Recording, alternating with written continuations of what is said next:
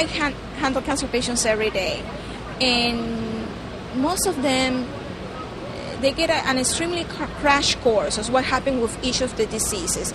And if you don't explain to them in a picture setting, they won't be able to comprehend, uh, for example, the uh, tumor cancer levels, why your hemoglobin is going low, why your platelets is going down, the consequence of chemo. And this is a perfect idea so that patients can finally understand what's happening to them internally.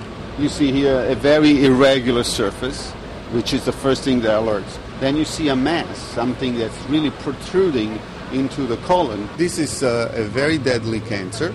And first of all, very common. It's a third most common cancer in the country. It's the second cancer in terms of death from cancer. So it's a very serious problem.